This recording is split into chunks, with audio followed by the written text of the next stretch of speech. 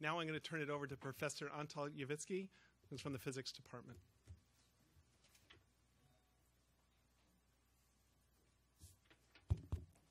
It's a pleasure to introduce the next speaker, Frank Wilczek. Frank is a Herman Feshbach professor at MIT. He, in 2004, he was awarded the Nobel Prize for Physics for the discovery, together with Gross and Politzer, for the discovery of asymptotic freedom in the theory of strong interactions. Um, we should, in connection with that work, we should say that um, even though the title says it that way, but there was no theory of strong interactions before, before the work of Wilczek, Gross, and Politzer. There were very uh, ideas which, which, which vastly disagreed, but as soon as that work appeared, we had QCD established as a theory of strong interactions. So our physics of the standard model and or the looking back at the 20th century particle physics would look very different had the result turned out to be to, turned out to, to be different. Frank was an undergrad in, in math and he got his PhD in 74 at, at Princeton. In fact, the Nobel Prize winning work was, was uh, uh, the PhD, PhD work. I remember since uh, I was a grad student at that same time when that paper appeared. Indeed, almost everyone had the paper on their desk, but even more so, everyone or many people who were capable of checking the calculations were very eager to do so. It made a big difference whether the result was positive or negative, in this case, meaning the sign of the beta function, which they, they have, have calculated. And um, the negative sign which they established meant that QCD indeed is a theory of strong interactions. Um, Frank um, was a professor at the Institute for Advanced Study. He went on also to the University of California. Um, after this work, he contributed greatly to QCD, that theory which, which he helped establish. Uh, he made predictions which are very novel. Something called color superconductivity is, is one of the phases that was predicted. He, he made novel suggestions for particles, new, new particles, and their relevance in, in both physics and condensed matter physics, um, axions, anyons, and one of the very interesting latest ideas, which, which I just read about is um, a space-time crystal, where he, he has authored many popular books. I will not list the awards. I think the last one which struck my eye is the King Faisal Award, which I don't think I know many people who got that. so with that, I, I would like to offer it to Frank.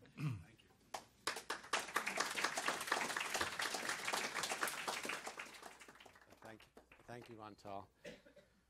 So when Leon Cooper asked me to talk at the 250th anniversary of Brown University about what physics would look like in 250 years, of course, I accepted immediately.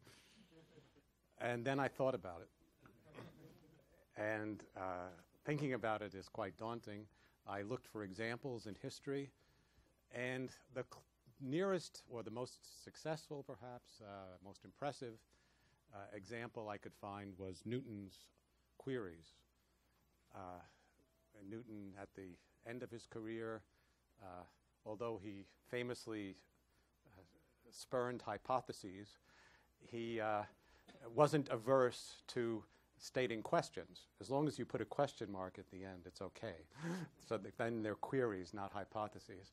Anyway, he, uh, he wrote these famous uh, queries that predicted very richly and in detail, not always correctly, but in fruitful ways, how physics would evolve. And uh, for a hundred years, those queries looked very good. But after a hundred years, they were starting to show their age.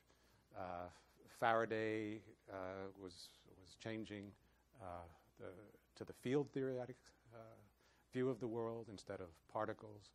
Uh, chemistry, which Newton had some confused ideas about, was becoming a real mature subject uh, with Lavoisier. Uh, so, uh, 100 years looks more li- realistic. So, my talk is going to be uh, about 100, physics in 100 years, trying to identify some opportunities and challenges. And these are not meant really seriously to be predictions. Uh, uh, fo- fortunately, I realize I won't have to face the music, most likely, for this. But it's an opportunity to think about where the field is, what looks ripe, what looks promising, and I hope you'll take it in that spirit. so, first, I want to, I'll, I'll be talking about a, uh, a grab bag, actually, a baker's dozen of different topics, uh, seven of which will be about unification, which is a grand tradition in physics. And uh, there are aspects of unification that uh, look very ripe. There are also aspects that look really tantalizing, and whether they're ripe or not, we have to uh, come to terms with them. so, once when I was giving a uh, popular lecture, afterwards, uh, someone asked me in the question session, uh, why do you guys care so much about unification? Isn't it just enough to get things right? And that's actually a pretty profound question if you think about it. Why, why do we insist, why do we uh, in physics so much look for unification? Well, I think there are two answers. I didn't have a good answer at the time, but I thought about it. Uh, one is that there are many success stories where people seeking to unify things, uh, even when the motivation for unification wasn't pressing for any particular problem, have, uh, uh, when they succeeded, uh, given us tools, given us ideas that went far beyond uh, the initial motivations or the initial horizon of what, what could be seen be, from the subject separately. So. I've listed a, a number of examples. Uh, given the amount of time, I won't go into a detailed discussion of these, but they're, take my word for it, if they're very impressive examples of unification yielding enormous uh, fruit in the development of our understanding of nature. Uh, I'll just mention a couple that are particularly striking. Uh, one is uh, Hamilton's unification of mechanics and ray optics, which is particularly striking because the motivation was really very conceptual. There, were, there was no need, really, to show that mechanics and wave theory, the you know, particle theory of particles and the wave of mechanics and the wave theory of light could be seen within a larger framework as two as aspects of a, a unifying uh, concept. But Hamilton thought it would be pretty to do that and did it very successfully, introduced what's called the Hamiltonian and techniques which two centuries later, no, one century later, sorry, one century later, 100 years, uh, turned out to be absolutely fundamental in understanding the world of quantum mechanics, which was worlds away from what he was uh, thinking about. Uh, another one uh, right after that is uh, Maxwell, who uh, took the laws of electricity and magnetism as they were known at that time, uh, put them in an unusual form, uh, escaping from the Newtonian influence, putting them in terms of Faraday's non mathematical ideas of field theory, or not, or mathematical conceptually, but not in equations. Maxwell uh, put them to equations. And when he, when he did that, he found he had to fix the equations. There were some missing bits, which he supplied. And uh, that brought together not only electricity and magnetism, which he was seeking to unify, but turned out to uh, bring in optics and, uh, and new forms of light which have spawned uh, the technology of the 20th and 21st century. And one measure of how far ahead of that unification was of its time is that uh, the, the, Maxwell equations in their mature form appeared in 1864, and it was almost 20 years before there was experimental proof from Heinrich Hertz that they actually worked, that the new uh, innovations that Maxwell needed to introduce uh, were actually true in the world. And this is my second answer about why we should seek for unification. Isn't it pretty to think so? Why have two things when you can have one? Or why have six when you can have one? Or four when you can have And uh, we can always try to do better. and when we do, it's prettier. So now, uh, with that preamble to, to examples, or not example, to, yes, examples, to uh, uh, uh, things that uh, are on the horizon today. This is a representation of uh, what's usually called the core, uh, the standard model. I like to call it the, the core theory of, uh, of matter. This summarizes in a simple cartoon uh, basically everything we know with certainty about physics if you know how to unpack it. Uh, we assume the theory of relativity and Einstein's uh, general relativity here. Uh, then there are three other forces that need more spelling out. In relativity, all you need to know is that there's energy and momentum and a metric, and you don't have to give a detailed census of what kinds of particles there are because there's a, a, universality to it. Uh, the other forces, we need to specify various quantum numbers, and uh, the, the quantum numbers are usually called colors. In the case of the strong and weak interactions, there are three of them for the strong interactions here red, green, and blue, two of them for the weak interactions, yellow and purple.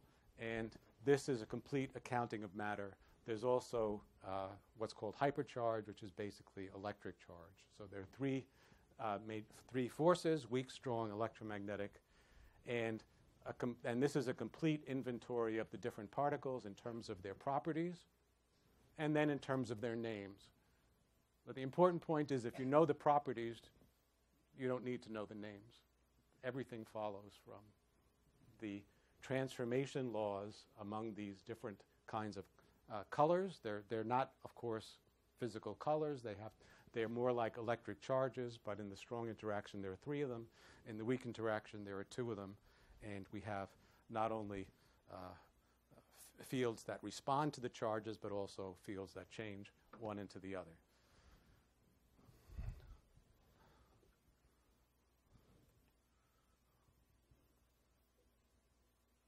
And uh, here I've stripped away some of the excess baggage. Uh, gravity is gone. Higgs field is gone. and also the uh, threefold repetition of families is gone. Uh, we'll come back to gravity. The rest I'm going to sweep under the rug because we because it does you know I have to be honest it doesn't yet appear in a compelling way in the unification, but we will uh, we'll we'll do pretty well to make that scattered pattern into uh, a unified whole. So here's here's a metaphor for it. Of course, I won't review the detailed mathematics. Uh, suppose someone handed you this pattern.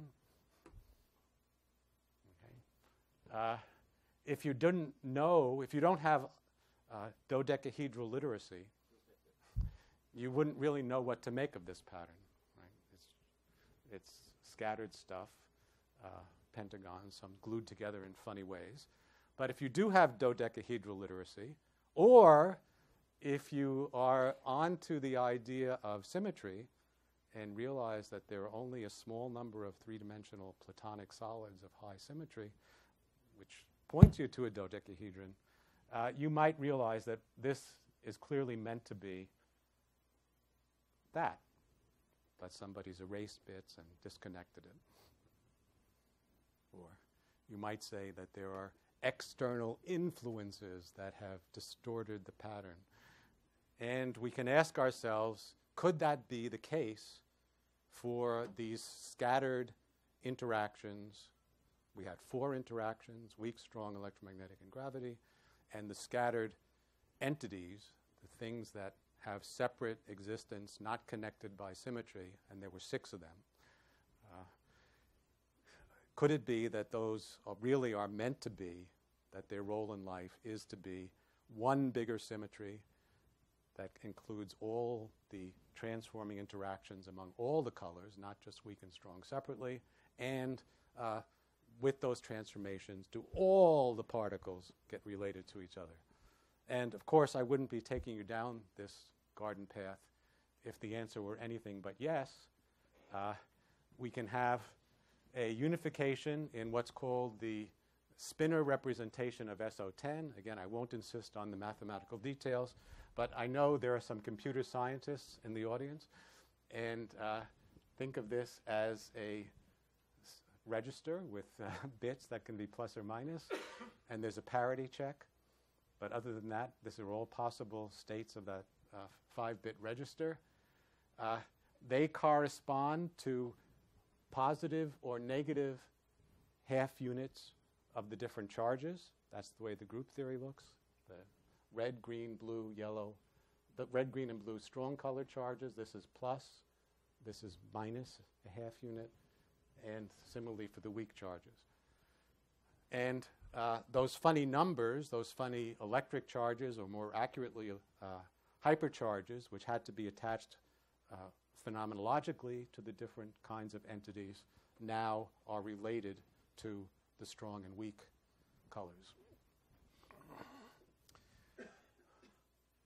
And, well, if I had a little more time, I could spell out for you how you get from that abstract pattern to that weird looking disconnected pattern of the different assignments of colors and charges that we actually meet in reality. So it becomes very plausible that the stuff we've seen actually is meant, is crying out to be put into this more symmetric framework. So not only do the symmetry transformations fit, but also the different kinds of matter fit like a glove into this pattern. So instead of having six entities and four forces, uh, we now have one entity and one force, although I've left out gravity. We'll, we'll come back to that.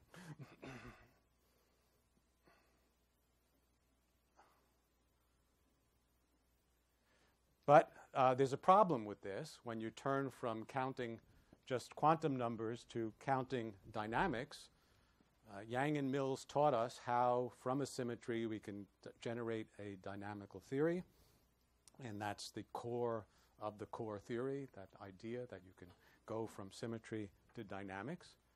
And uh, their prescription, however, tells us that the strength of all the forces should be the same if they're really manifestations of one common universal underlying force. But in nature, they aren't. Oops. However, one thing we've learned from our study of the uh, core theory, a major lesson which people got Nobel Prizes for, is that uh, we, what you see isn't what you get in a very precise sense. That empty, what appears to us as empty space is not empty, but has spontaneous activity, which we call virtual particles or quantum fluctuations or zero point motion, all different names for the same thing. That's, uh, and I'm sorry, this, the, the dynamics here didn't survive translation from Keynote to PowerPoint, so this is just a static image. But uh, uh, all the time, everywhere, you would, if you had uh, eyes that could resolve 10 to the minus 24th seconds and 10 to the minus 14 centimeters, you'd see bubbling activity, fluctuations in energy density. What's pictured here is fluctuations in energy density in gluon fields, where you see the bright colors, the density is high.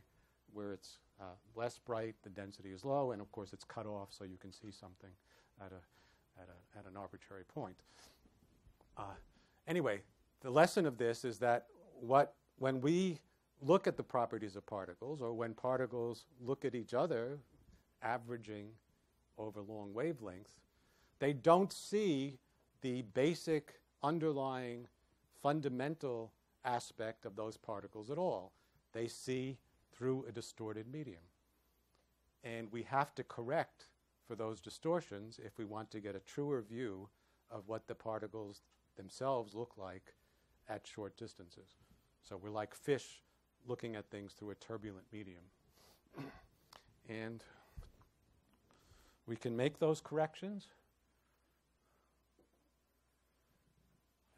and see if, when we do, the promised equality of the different interactions uh, actually occurs.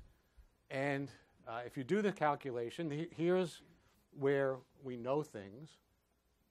And this is on a logarithmic scale, so going from here to here is 16 orders of magnitude. Uh, the LHC took us one order of magnitude. The next super collider might take us one more order of magnitude. so we're extrapolating way, way, way beyond uh, uh, what's uh, experimentally justified, but you can do it with the stroke of a pen. Why not? And you see that it almost works. There's uncertainty, experimental and theoretical uncertainties are basically the width of these lines. And if you just take into account the fluctuations we get from all the known fluids, all the known particles, so not only the gluons, but also the W bosons, the Higgs particles, the quarks and antiquarks, everybody fluctuates, everybody makes corrections. You add those all in, do the calculation, and uh, it's a near miss. Okay, so if we listen to Karl Popper, we should congratulate ourselves. Uh, he said the goal of science is to produce falsifiable theories. Here's a theory that's not only falsifiable, but even false. what, what could be better? but of course, that's not our attitude. If we have a beautiful idea that almost works, we try to make it work and try to make it more beautiful. Maybe we've missed something. And if you think about our unification, at first it seems, how could you go any further? We've unified all the substances into one, we've unified all the forces into one. But then you realize that's two things forces and substances, like yin and yang. Uh, in fact, the forces are very much like the con- Chinese concept of yang, and the, the stuff that's pushed around is like the, the yin. Uh, and we can ask ourselves whether those could be aspects of one common uh, entity. And that seems outrageous to, physis- to physicists who have a little bit of knowledge, well, who have a lot of knowledge, but not the key knowledge. uh, it was found in the 1970s, however, that it is possible to construct theories, these are called supersymmetric theories, in which force particles, in other words, bosons, and substance particles, the fermions, are symmetric with one another. So there are transformations of the equations that change fermion fields into boson fields and boson fields into fermion fields, but leave the content of the equations unchanged. That's what supersymmetry is. And that means if you understand one, the other has to be there to be what you get as it transforms. Uh, and the interactions are related. And we can uh, deduce some properties. and if we include the effect of supersymmetric particles, and if they're not too heavy, uh, then it works. So we have to make recompute those corrections, then it works, and there's more. Gravity also more or less works. Gravity starts out many, many orders of magnitude weaker than the other forces. The difference between strong and electric forces was about a factor of 10. Gravity is not 10, not 10 times 10, not 10 times 10 times 10. It's 10 to the 40th power weaker than the other forces. So it's way outside the known universe, but if you follow the logic, it gets easier to put it on the slide. It was very challenging at first, but eventually gravity more or less unifies as well. So it's you're getting out more than you put in. Now, that only works. I, ho- I hope I've, I've shown the logic that works if you ha- postulate this underlying symmetry between force and substance, which brings uh, a second level of unification beyond the unification of the symmetries of the, st- of the core theory. Now, that last thing suggested we should also be bringing gravity into the unification. In fact, it suggests that if we just look at the strength of interactions, we're already there, but it encourages us very much to think that we we know what we need to know if we were smart enough to make that unification.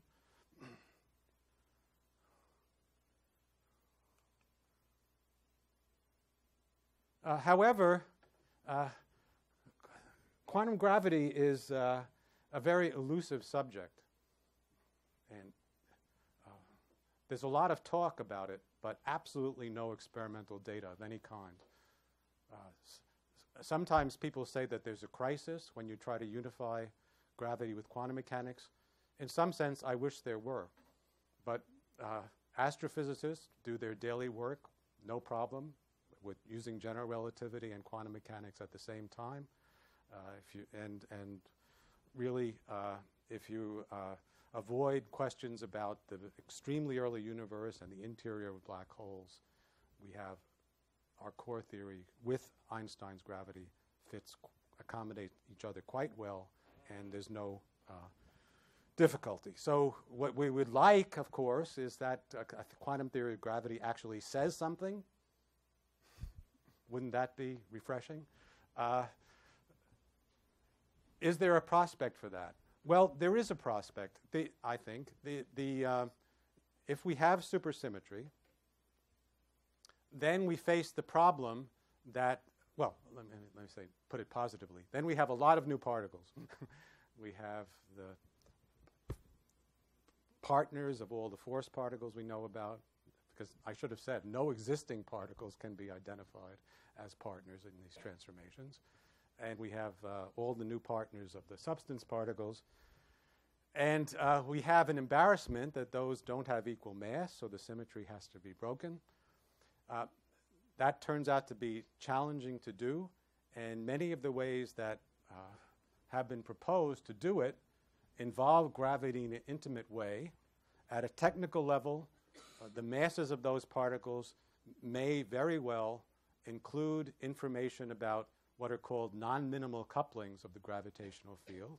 So they go beyond the most straightforward uh, uh, accommodation of general relativity with the core theory. And if we had access to those, we would have some real material for a quantum theory of gravity. uh, another disconnected idea, but uh, well, I'm throwing things out, is uh, it's striking that the real numbers, which were devised as a model of the of how one measures length, and you divide, you divide, you divide, uh, and you have infinite decimals, if you like, that even though those operations now seem hopelessly naive, right, in the quantum world, you can't keep going and, and measure ever finer distances as if you had a ruler. You have to do it in very indirect ways. Everything fluctuates. And the appearance of space and time is much more indirect than, uh, uh, than in Newtonian physics. Nevertheless, at the foundations of physics so far, we still use the real numbers. I think that can't last. And fortunately, there's a uh, well, there are many possibilities. We don't know really what, what's, what's, what's uh, out there. But one particular thing that I find very beautiful that goes back to the early days of calculus and when people thought critically about this kind of what is length and what is measurement is the idea of infinitesimals, things that are really, really, really small, smaller than the real numbers, but not zero. Uh, and it was only in the 20th century that a beautiful and consistent mathematical theory of infinitesimals was developed, and it's sitting there waiting for use in physics. But why not?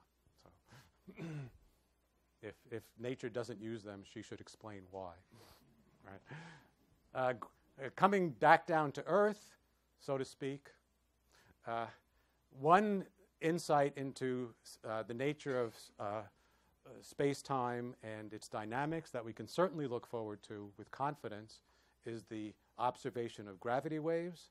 That's imminent, I think. There are known sources that uh, will, will put out signals with sensitivities that a new generation of experiments will reach before long. These are things like neutron stars orbiting around each other and then spiraling in, or black hole neutron star pairs, things like that. Uh, and uh, we'll have dramatic, direct proof that space time is dynamical and, and a new window into extreme astronomical conditions. There may be surprises there. Uh, a particular thing that almost seemed to have happened recently is uh, events in the early universe are also moving around matter in violent ways. They also produce gravity waves. Uh, uh, you probably read in the news that there was this putative observation of gravity waves from the early universe, the, uh, as, or not that directly, but their imprint on the microwave background radiation. Uh, uh, not this time, but one can do much more sensitive experiments, and the, the, the jury is still out. okay, so those are more or less conventional hopes for unification. Now I'd like to uh, stick my neck out a bit more and talk about unifications where uh, it's more a, a, desire and a hope than an actual proposal. Or, or how should I say? Uh, it's more an itch, but I don't really know how to scratch it. You know? So uh, this one goes way back, like many things, to the ancient Greeks. Uh, Parmenides, in a complicated way, said basically that nothing ever changes. and Heraclitus poetically said that change is everything. So there's a certain tension in these views. And that kind of tension percolated into uh, science and science and really was very dramatic in the, uh, at the dawn of the, the scientific revolution. Two of the great heroes, Kepler and Newton, were really champions of those two views. Kepler constructed his model for uh, the different planets moving around on celestial spheres with circumscribed and inscribed uh, platonic solids. So this was kind of a static geometric perfection of the, of the, of the system. Uh, later, in the face of facts, I mean, one wonderful thing about Kepler is that he confronted his ideas with the facts, and, and when they didn't work, uh, well, he still published the same theories, but, uh, but he, uh, he honestly uh, spelled out what he found and undermined his youthful dreams. But in any case, it seemed for a long time that uh, Heraclitus was triumphant. In Newton's physics, dynamics really is everything, and there's a clean separation between a problem of what are the basic equations on the one hand, those equations turn out to be dynamical, tell you how things change, and the problem of what are the initial conditions on the other. And that's been very fruitful in the history of physics, has led us to success after success, but it somehow, to me at least, doesn't smell right. In the theory of relativity, uh, the separation between space and time is in play. You know, one has transformations that transform space into time. So the idea that you should pick out one time and get things started there is very unnatural. It's very natural to think of space time as a whole thing. And when you look down on space time and look for its laws, uh, they shouldn't separate into first slice and then dice. You, really should. So uh, that's a unification that I think is devoutly to be wished between initial conditions and dynamical equations. That, I think, has to go. oh, uh, Hermann Weyl, one of my great heroes, wrote eloquently on this subject And uh, I wanted, one of the, the tragedies of my life is that I've never had a chance to collaborate with Her- Hermann Weyl. He, uh, I was much, you know, I was a baby when he died. But uh, I can do it posthumously. I turned one of his uh, paragraphs into a poem, and, and now, now I'm going to inflict it on you. He exposed the, uh, this tension between relativity and, uh, um, and the separation of initial conditions in, in this profound way. He said, The world simply is. This is after a discussion of space time as the natural framework of physics. In my consciousness, tethered to my mind and body, fleeting images come to life of the world samples only, but the world simply is. It does not happen.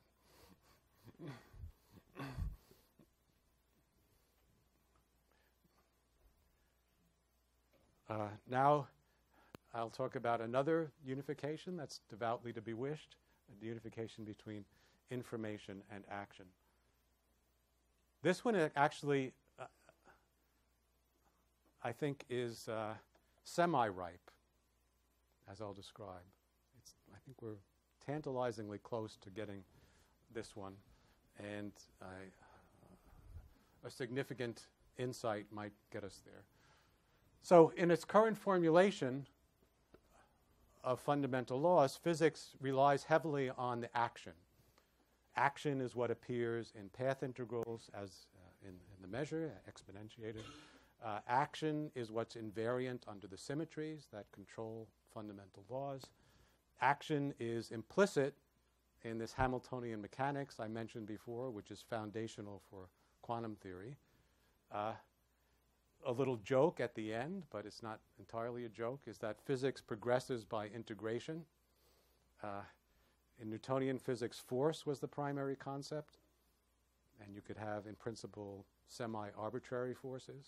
Newton pointed out a few regularities, like his third law, but basically, uh, other than that, they were, in principle, unconstrained.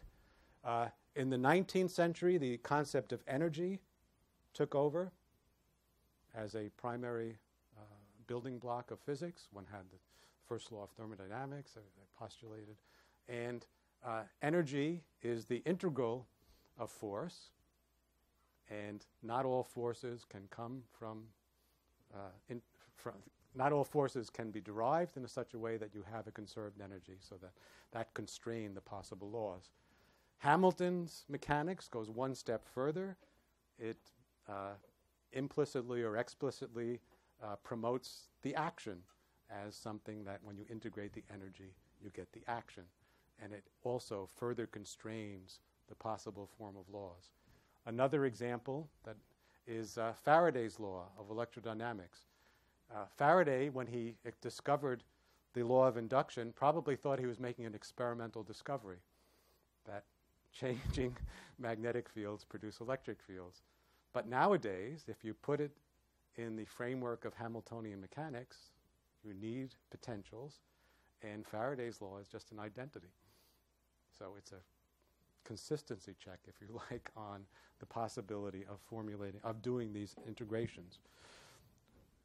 Anyway, action is very fundamental. I don't know if one can go one step further and constrain actions. That would, but uh, I'm not sure. Well, I don't know. Uh, but however, uh, let's suppose for the moment that action is the endpoint here. Uh, since Planck's constant, which has the physical dimensions of action, is a universal constant as far as we know, and for my money it looks very good, uh, that means that action, the physical quantity, is measured in, the, in universal units, a pure number. It's a numerical quantity. So It's a numerical quantity that controls how the world works. We would like to have other ways of understanding it. Are there other numerical quantities that control how the world works that we might try to unify with action? Well, information is another thing that in, the, in modern times is becoming more and more a dominant way of thinking about the world we think about it, in fact, in physical terms. We think about it as we talk about information density, information flows, and so forth. So, can one unify action with information? Well, I think, as I said, I think we're ama- amazingly close. The, uh, nowadays, many treatments, not of action but of entropy, start by talking about information and deriving the principles of statistical mechanics by ap- applying information concept, information theoretic concepts to uh, mechanics. And uh, in that way, you learn that entropy, you learn, by the way, that entropy is a measure of negative information, of ignorance. now, there's a very strong formal connection between entropy and action that arises when you formulate uh, uh, uh, thermal physics in terms of Euclidean, in terms of Green's functions. It's very natural, it turns out, to formulate it in terms of ima- the behavior of Green's functions in imaginary time. And when you do that, you find out that the action goes over into the entropy. Now, so in a sense, we have links between information and action mediated through entropy. What's I think the only thing that what's missing is that the link between uh, entropy and action, although it's clear at a formal level, uh, is derived very indirectly. It's derived by uh, getting to the formalism of Boltzmann factors and futzing around, and you then you prove it very indirectly. Not if one if one could understand that profoundly, I would say that we would have unified not only entropy and information, but also action and information. And that would be marvelous. that would really bring to bring back the idea that the world in an even more profound sense than being calculable is calculable in terms of concepts that are related to calculation. and Blake, I think, feared that was the way the world works, and maybe it is. okay.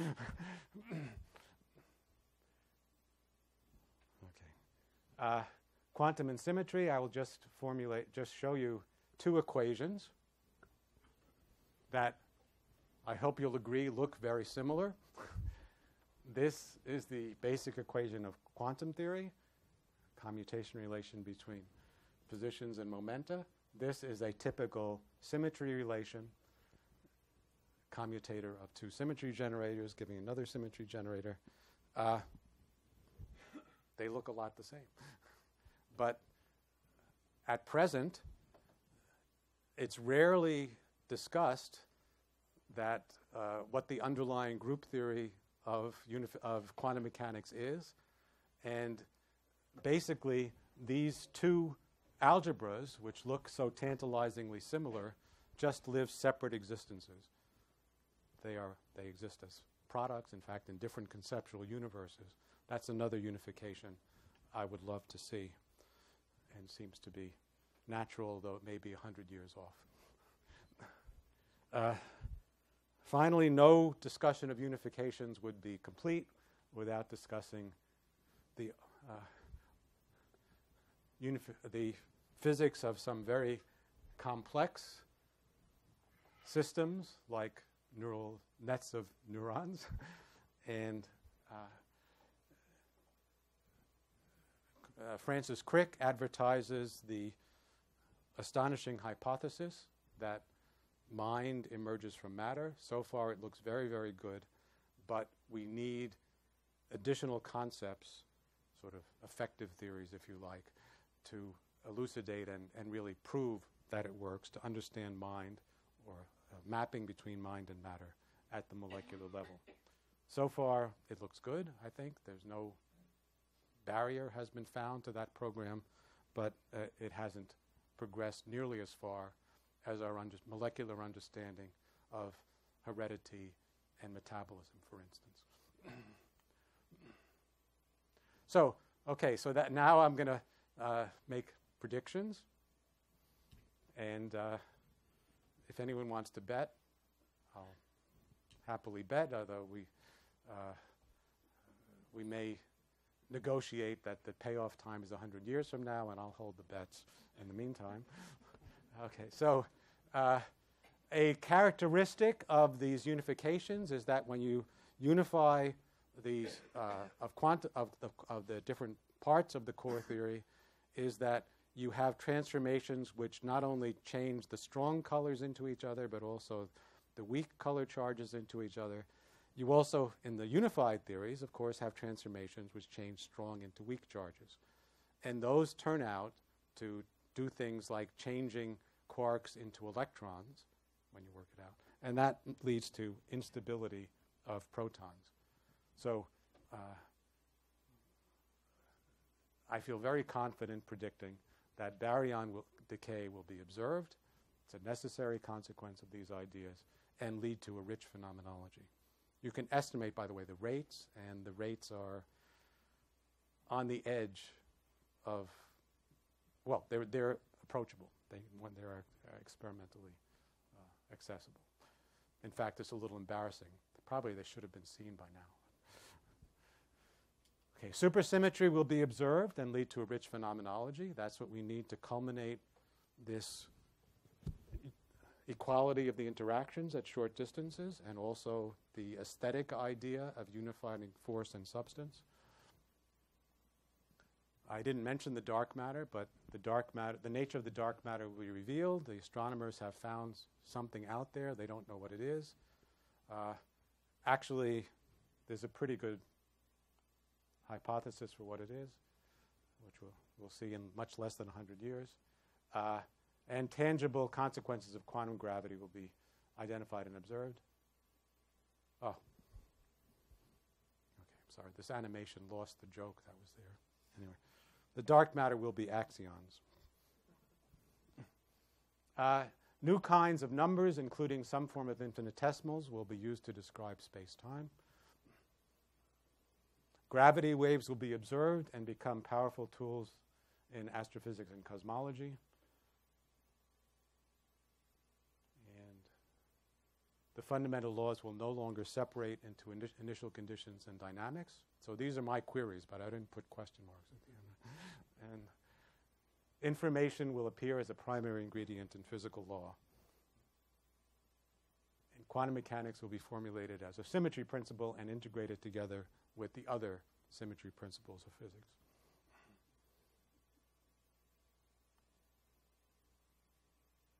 And finally, biological memory, cognitive processing, and emotion will be understood at the molecular level, uh, comparable to our understanding of metabolism and heredity. okay, how long do I have left? 10 minutes. All right, that's plenty.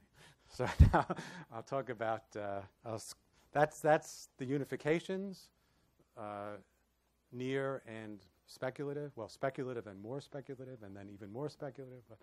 Uh, now I'd like to turn to uh, the the consequence, if you like, of the fact that uh, although there's a lot we don't know, there's also a lot we do know. Our core theory is really, really good. Uh, it's been tested under with such accuracy and under such extreme conditions, I think that there's little doubt that it's adequate as a foundation for chemistry, uh, astrophysics, almost all of cosmology, all forms of engineering, and so forth. So the only limitation is using our brains to exploit this fantastic resource, this fantastic understanding that physics has won over what matter is and how it works uh, in the last 250 years. oh, uh, famously, Arthur C. Clarke said that any sufficiently advanced technology is indistinguishable from magic, and to which I add the uh, scholium that uh, nature's technology is very advanced in quantum theory. We have prospects for enhancing sensoria. I've actually been working on this. Uh, we're put to our sense of uh, color, our ability to resolve the electromagnetic spectrum, is put to shame by the mantis shrimp. we take three averages. The mantis shrimp, depending on the species, uh, has between a dozen and 16, extending into the infrared and also the ultraviolet, and also with sensitivity to polarization. So, can we fight back? And I think the answer is clearly yes. With modern technology, we can put back information that's missing. Here, I've done something that's easier to display on a computer screen, namely going from two color channels to three. This is a color blindness test. And uh, I don't know if there are any, any colorblind people in the audience. Can you t- see the difference? No. see, that crude model of color blindness is you take R and G, the red and green, and replace them both by their average. That turns this into this. And colorblind people have a very hard time distinguishing these two figures. And so we have those of us who are not colorblind can get some sense of what they're missing, and they don't see the number here. That's right thinking people see. What's that? but now, uh, if we open up a new channel by exploiting the possibility of modulating what they can see in time, we can open up a new channel and make things leap out. But I think it's lost in translation from, from Keynote to PowerPoint. So uh, I can show you privately afterwards. it's really fantastic, but it, uh, it's totally lost in translation. Okay, so let me make so enhanced sensoria. I think there are many tricks that I've been and that that's coming. Uh, making things in the micro world. Uh, since we know the laws, we can design new materials. In principle, physicists should put chemists out of business. Doing things by pouring one substance into another and you know all that smelly stuff. Uh, that we should be able to calculate it all. right? That has happened to a very large extent in aircraft design, for instance. Wind tunnels are no longer the state of the art. People compute, and it's much more flexible because you can play with the designs much more easily and so forth. And some very strange things you you may have noticed at airports with the wings pointing up and curling around in funny ways. That all comes from computing. Not nobody thought nobody dreamed that up uh, and tested it in a wind tunnel. So we should be able to do some things like that on a molecular level. And a great, great challenge, I think, for physics in the next hundred years is to develop the techniques to compute better in the quantum world. Uh, another aspect of that is that uh, uh, 30 years, more than 30 years later, people are finally learning how to compute with delicacy in QCD. Uh, very, I'll just mention a landmark that, that was passed uh, a few months ago. It proved possible with a big computer calculation that doesn't compromise in any way, by the way. There's not no perturbation theory, no Feynman graphs, none of that. It's the actual theory just discretized and, and uh, fed to a computer with controllable errors. Uh, people combining QED and QCD uh, succeeded in calculating the proton neutron mass difference from first principles with decent accuracy. So that's a milestone achievement in itself since many aspects of how the world works depend on the precise value of that mass difference. But moreover, it's kind of a milestone that indicates that we can finally be serious about using fundamental physics to compute nuclear physics. So that should open the possibility of manipulating nuclei like atoms, perhaps leading to ultra high energy lasers, new methods of energy storage. Imagination is the limit, but we can open up the nuclear world with much more confidence. Not to mention figuring out much better how stars work, and especially supernova explosions, which have been held up, and neutron stars have been held up by lack of control of nuclear physics. Making things on a somewhat larger scale, and Uh, that net I showed you, that mess that's inside our brain, is an example of a 3D fault tolerant, self replicating, self repairing computer. The one that you put on your desk is not. So there's another opportunity for unification, if you like. Can we build uh, artificial computing machines that have these desirable properties? If we could, then uh, the dreams of people like uh, Olaf Stapledon of turning whole planets into gigantic computing machines, or let's say start with a mountain, move to an asteroid, a moon, into gigantic thinking entities uh, will become realistic. And, okay, it doesn't have to be just thinking. You could also imagine manipulating and self replicating uh, machines that will help to build each other and also the giant brains. Finally, building things on a macro scale, and the Grand Master is here, here in the audience. Uh, whole planet brains I mentioned, but uh, gathering the energy that's available from a whole star to drive technical enterprises to make people's lives better, hopefully, not to fight, but, uh, but in any case, to capture that energy and put it to good use is a vision that uh, Freeman Dyson pioneered. I don't think that's going to happen in 100 years. that maybe in 250, right? Uh, but uh, the spirit, however, is now, right? We're, uh, we need to capture the energy of the sun on a much larger scale than has been done, and that's becoming an economic prospect. And so the road to, uh, so the spirit of this is already in nascent form beginning, and I think it, it'll inevitably grow. Although know, the sun is pretty big, so it's going to take a long time to surround it. But we can have uh, lots of fun intermediate, at intermediate times and, and help the world with its uh, pollution and energy problems. okay. Uh, I'm running out of time, so maybe I'll have mercy and be very short. Uh, we can expand the quantum sensorium also. And I won't.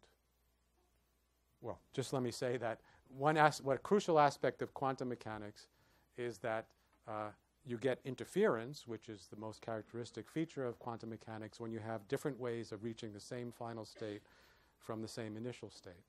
Now, sometimes you'd like to interfere things that lead to different final states, but if you erase the evidence, which now with our exquisite control of atoms and detecting devices in some cases you can, then you can restore the interesting interference. And so that's a way of accessing entanglement and delicate properties in the quantum world. that was all an excuse to make this joke, right? Okay.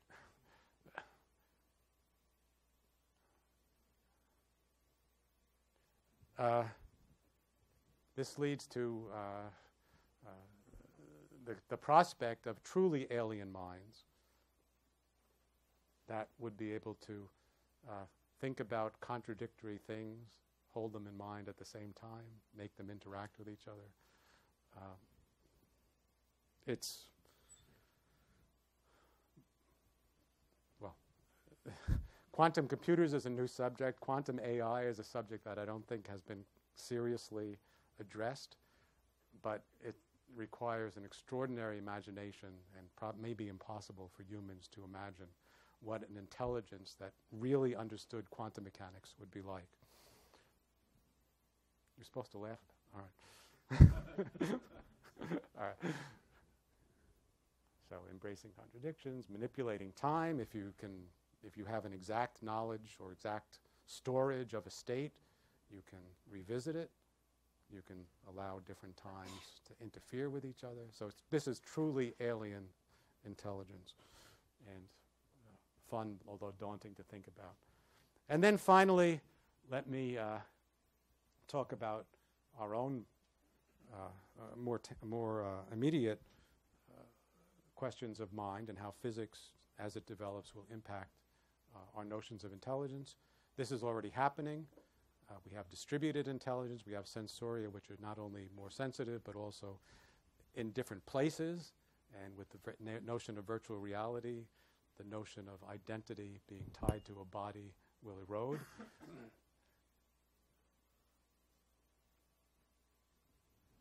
and then finally, uh, I realize some of these notions are jarring, maybe potentially scary, these super intelligences that are so unhuman. But I take comfort from uh, history, if you like, and the sort of what the greatest minds that we know about have been like.